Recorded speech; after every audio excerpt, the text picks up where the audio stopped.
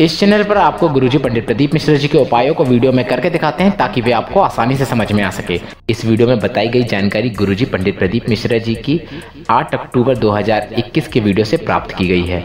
Doctor ने कह दिया है, केस बिगड़ा हुआ है। गर्भ में जो बच्चा है, नाल में उलझा हुआ है। किसी भी प्रकार से केस बिगड़ रहा है, सुलझने का नाम नहीं ले रहा है, सुधर ही नहीं रहा है।